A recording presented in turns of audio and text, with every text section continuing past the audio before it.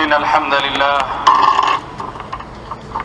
نحمده ونستعينه ونستغفره ونعوذ بالله من شرور أنفسنا ومن سيئات أعمالنا من يهده الله فلا مضل له ومن يضلل فلا هادي له وأشهد أن لا إله إلا الله وحده لا شريك له وأشهد أن محمدا عبده ورسوله يا أيها الذين آمنوا اتقوا الله حق تقاته ولا تموتن إلا وأنتم مسلمون.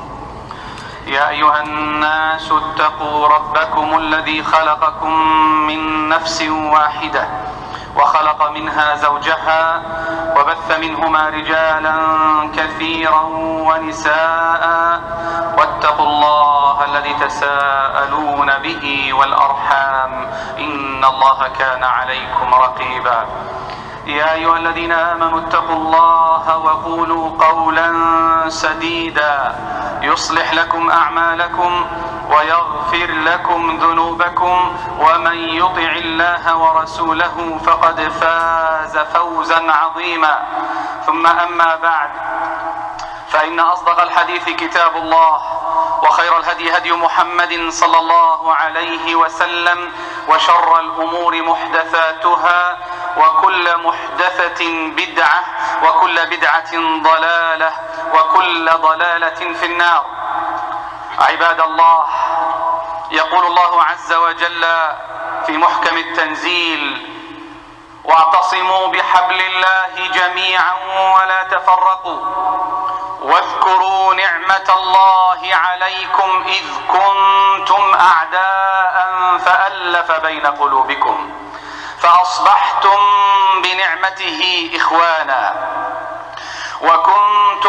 شفا حفرة من النار فأنقذكم منها. كذلك يبين الله لكم آياته لعلكم تهتدون. أيها المؤمنون عباد الله لقد من الله تعالى عليكم في هذه الآية بنعمتين عظيمتين جليلتين. النعمة الأولى تأليف القلوب والنعمة الثانية أن أنقذكم بدين الإسلام من النار. ثم أضاف نعمة ثالثة لا تقل عن سابقتيها أن جعلكم إخوة في الله عز وجل. Dear brothers and sisters in Islam Allah wa Jal in the Quran said more or less the translation and hold fast all together to the rope which Allah stretches out to you and be divided not among yourself. And remember with gratitude the grace of Allah Azza wa Jal that you were enemy and he joined your hearts in love so that by his grace you became brothers and you were on the brink of a bit of fire and he saved you from it. This is how Allah Azza wa Jal makes his sign clear. So maybe you be guided. Allah Azza wa Jal blessed you with two great blessings in this verse. The first blessing is to join your hearts in love. And the second blessing in this verse that he saved you with the religion of Islam from the hellfire. Then Allah Azza wa Jal mentioned these two great blessings alongside with a third one that he makes you brother in the sake of Allah Azza wa Jal. والأخوة في الله قوام الحياة وهي الماء العذب الزلال التي لا تصلح الحياة إلا به قال سفيان الثوري عليه رحمة الله لابد لك من أخ تبثه شكواك ويعينك على بلواك. فمن وجد أخا تهواه نفسه وتعجبه فعاله ويرضى الله عن خصاله فليتمسك به. فإن من أعجز الناس من لا يبحث عن إخوة اوفياء له. وأعجز منهم الذي فرط بمن حصل عليه منهم. وما المرء إلا بإخوانه كما يقبض الكف بالمعصم ولا خير في الكف مقطوعة ولا خير في الساعد الأجدم. Brotherhood in the sake of Allah it is the groundwork of life. It is the flowing water of this life Sufyan al-Thawri said you must have a brother that you can broadcast your complaint to him and he can aid you in your tribulation. So if you find whoever finds a brother that his soul is inclined to, he likes his action and Allah Azza wa Jal is pleased with his characteristics, then let him hold on him. Because the worst among people are those or the most helpless among people are those who neglect seeking brother in the sake of Allah and worse what worse are those who lose them after having them a person is with his brother like when the palms grips when the palms grips the wrist there is no good in a cut palm and no good in a chopped forearm والاخوة في الله تعتمد على ركيزتين اثنتين الايمان والتقوى وأن تكون في الله وعلى حبل من الله. لا تكون على جاهلية ولا على عصبية إنما تكون على كتاب الله وسنة رسول الله صلى الله عليه وسلم. ولذلك فإن من وحد الله وحد الله بأفعاله وصلى لقبلتنا وأكل من ذبيحتنا فإنه أخ لنا له ما لنا وعليه ما علينا لا ننظر إلى لونه ولا ننظر إلى لغته ولا ننظر من أي البلاد أتى brotherhood in the sake of Allah Azza wa has two great pillars. Number one, believe and fear from Allah Azza wa Jal. The second is for it to be in the sake of Allah on a robe of Allah, not in a robe of ignorance. It is to be held on Al-Kitab and As-Sunnah. So whoever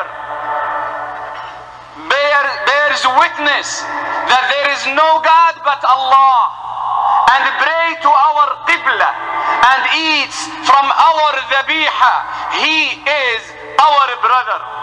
We don't know, we do not look at his color or his language or the country that he came from. He is our brother in the sake of Allah عز وجل واعتصموا بحبل الله جميعا ولا تفرقوا حبل الله الكتاب والسنة قال عبد الله بن مسعود رضي الله تعالى عنه حبل الله الجماعة. ثم قال عليكم بالسمع والطاعة فإنها حبل الله الذي أمر به. قال وإنما تكرهون في الجماعة خير مما تحبون في الفرقة وإن ما تكرهون في الجماعة خير مما تحبون في الفرقة. وقال ابن القيم عليه رحمة الله تعالى والإعتصام بالله عز وجل عز وجل نوعان اعتصام بحبل الله واعتصموا بحبل الله جميعا ولا تفرقوا واعتصام بالله فاعتصموا بالله هو مولاكم فنعم المولى ونعم النصير. ثم قال رحمه الله ومدار السعادة في الدارين الدنيا والآخرة على الاعتصام بالله والاعتصام بحبل الله ولا نجاة إلا لمن تمسك بهاتين العصمتين. ولا نجاة إلا لمن تمسك بهاتين العصمتين ثم قال فالاعتصام بحبل الله فالاعتصام بحبل الله عز وجل يعصم العبد من الضلال والاعتصام بالله يعصمه من الهلكة.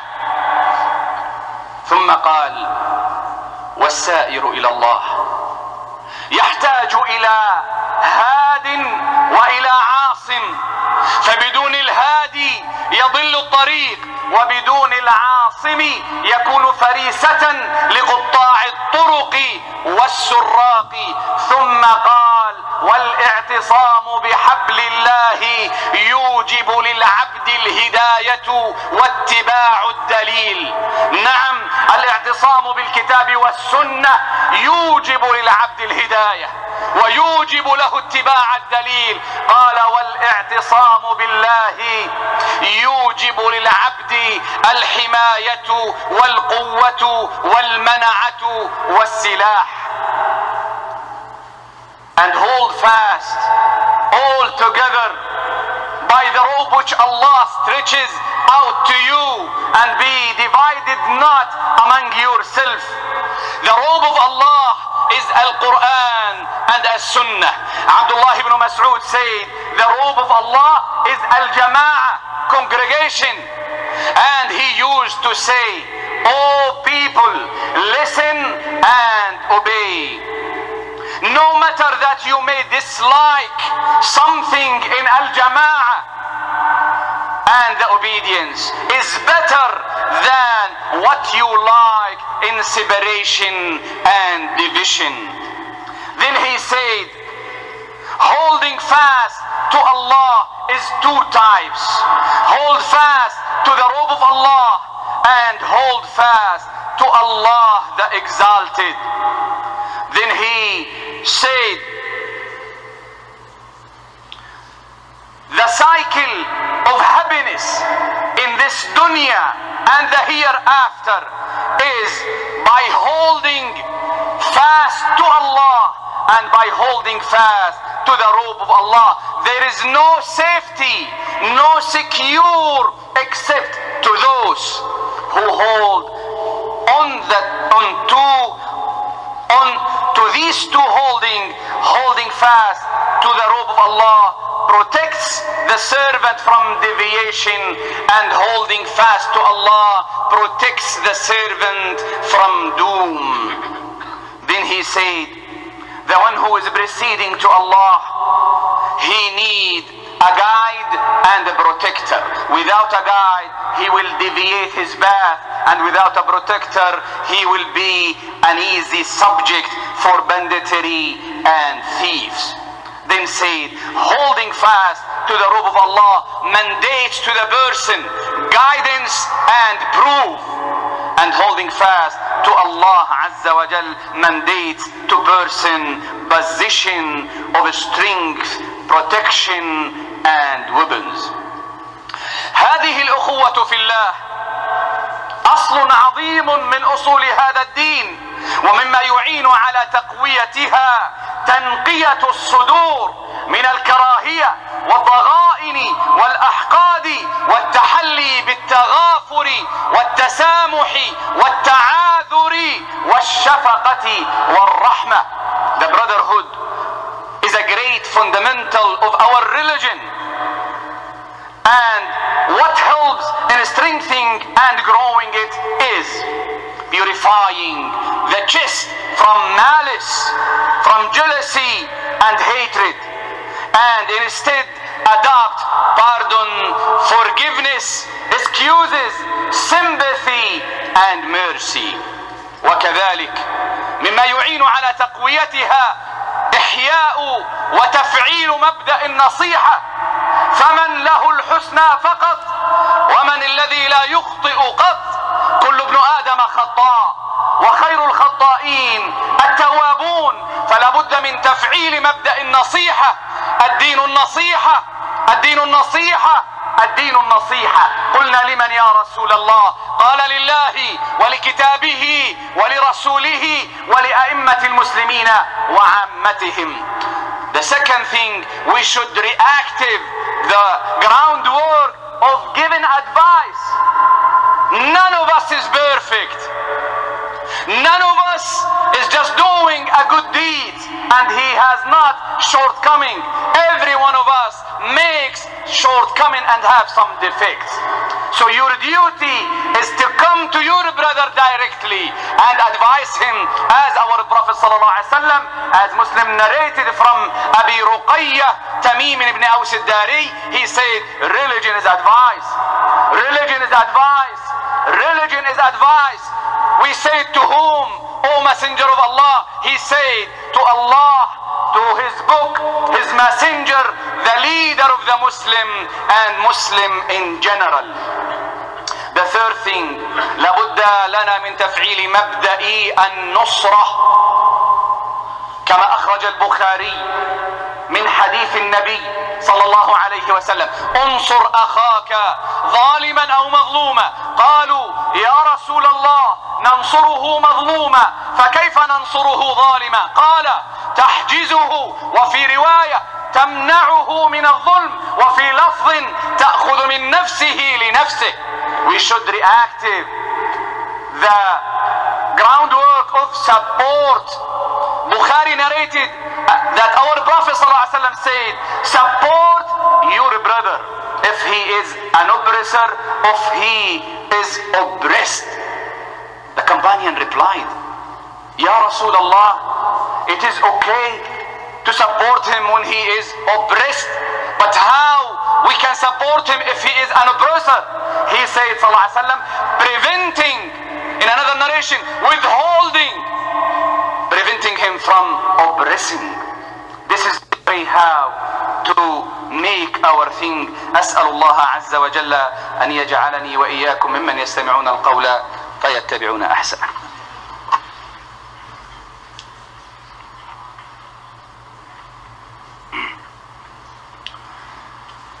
الحمد لله وحده والصلاة والسلام على من لا نبي بعده وأشهد أن لا إله إلا الله وحده وأشهد أن محمدا عبده ورسوله.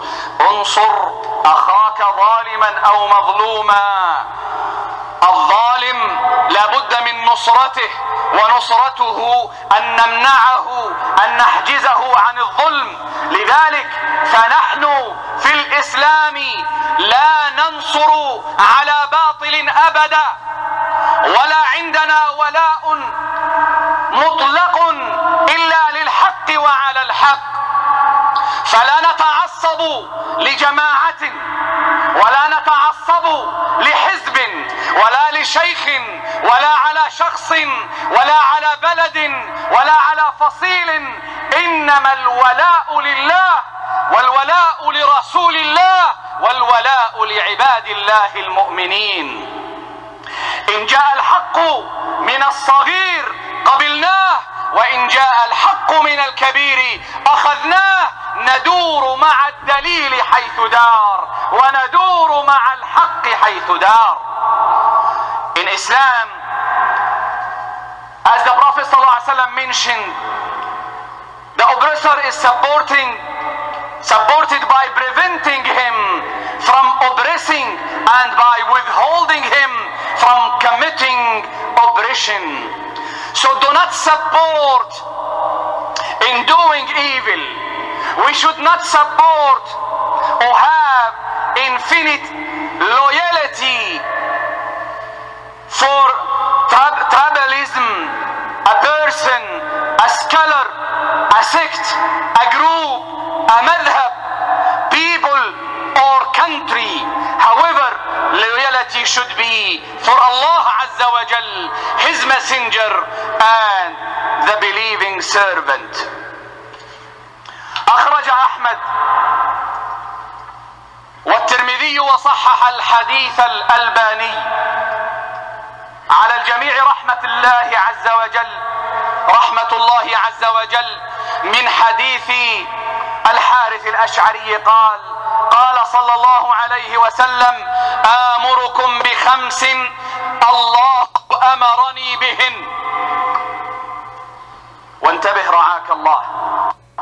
آمرك بخمس آمركم بخمس الله أمرني بهن. السمع والطاعة والجهاد والهجرة والجماعة. فمن فارق الجماعة قيد شبر فقد خلع ربقة الإسلام من عنقه إلا أن يعود. واسمع الخامسة. قال ومن دعا بدعوى الجاهلية. ومن دعا بدعوى الجاهلية يتعصب لبلد يتعصب لفصيل لجماعة لشخص ومن دعا بدعوى الجاهلية فإنه من جثاء جهنم. قال الصحابة يا رسول الله صلى الله تعالى عليه وآله وسلم وإن صلى وصام قال وإن صلى وصام وزعم أنه مسلم. وإن صلى وصام وزعم أنه مسلم فادعوا المسلمين بما سماهم الله المسلمين المؤمنين عباد الله Imam Ahmad and Tirmidhi narrated from Al-Harith al-Ash'ari that our Prophet ﷺ said, I ordered you with five things Allah Azza wa Jal has ordered me to do. Hear and obey. Striving in the sake of Allah. Migration. Al-Jama'ah. Congregation. Whoever separates from congregation as much as a handspan, then he has removed the fold of Islam from his neck unless he repents. And hear carefully now. To the fifth one, said, sallallahu alayhi wasallam, and whoever calls the call of ignorance, you know, to make to gather people based on race, to gather people based based on fraction, parties,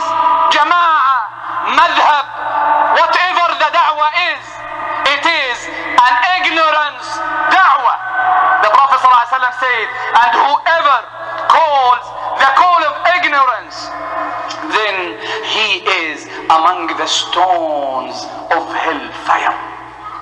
Listen carefully. A man from the companion said, O Messenger of Allah, even if he prays and fasts, the Prophet ﷺ said, even he prays and fasts and claim that he is a Muslim.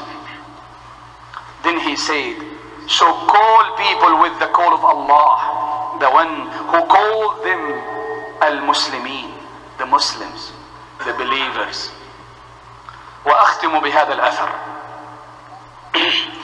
أخرج ابن المنذر وابن جرير والطبري بسند حسن من حديث زيد بن أسلم قال مر شاش مر شاس ابن قيس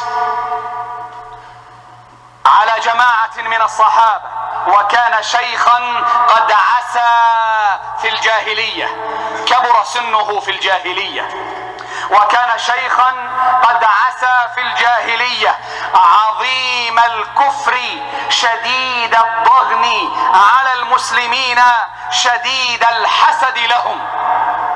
مر على نفر من أصحاب النبي صلى الله عليه وسلم من الأوس والخزرج يجتمعون في مجلس لهم فغاضه ما رأى من إلفتهم واجتماعهم وصلاح ذات بينهم على الإسلام. لقد اجتمع ملأ بني قيلة يعني الأوس والخزرج. لا والله ما لنا بها من قرار إن اجتمع ملأهم فيها. يعني ليس لنا قرار في المدينة. إن اجتمعوا وتآلفوا وتحابوا. فقال لشاب يهودي معه اعمد إليهم. واجلس معهم. وذكرهم يوم بعاث وما قبله. ويوم بعاث يوم كانت الغلبة فيه للأوس على الخزرج في الجاهلية. وانشدهم أشعارهم التي تقاولوها قبل الإسلام. قال فجلس معهم وذكرهم بعاث يوم بعاث وما قبله وأنشدهم. قال فتكلم القوم وغضبوا وتفاخروا فوثب رجلان من الحيين على الركب فتفاخرا فغضبا فقالوا السلاح السلاح السلاح السلاح موعدكم الحرة مكان في المدينة. قال فانضمت الأوس بعضها إلى بعض والخزرج بعضها إلى بعض. وبلغ ذلك النبي صلى الله عليه وسلم فخرج بمن معه من أصحابه فقال يا معشر المسلمين الله الله الله الله أبي دعوى الجاهلية وأنا بين أظهركم. أبي دعوى الجاهلية وأنا بين أظهركم.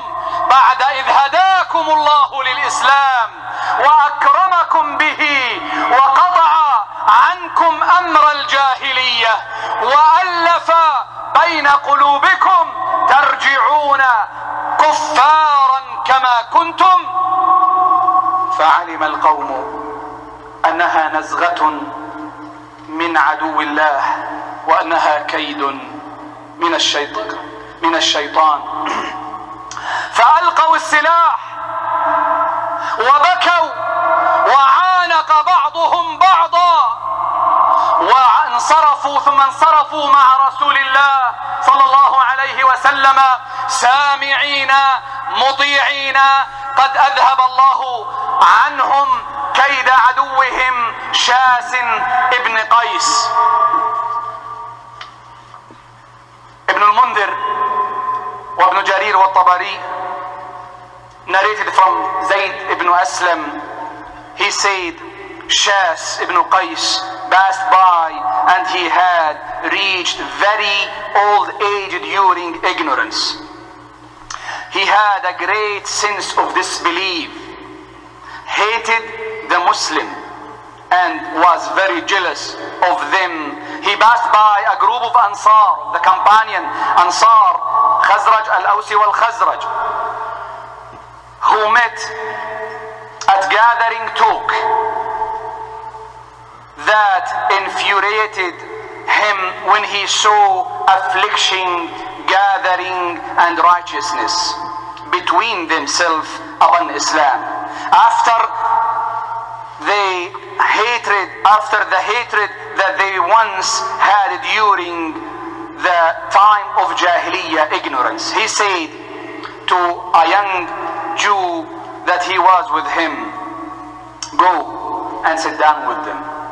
Remind them with Bu'ath, the day of Bu'ath before Islam, when the Aus beat Al-Khazraj. And remind them with the poems that they had or they used to recite before Islam. He went, he sat down with them, he started reminding them of Bu'ath and days before Bu'ath, and he started reciting some of these poems. So the people start talking and they start feeling proud over each other. Two men jump and they started speaking with each other.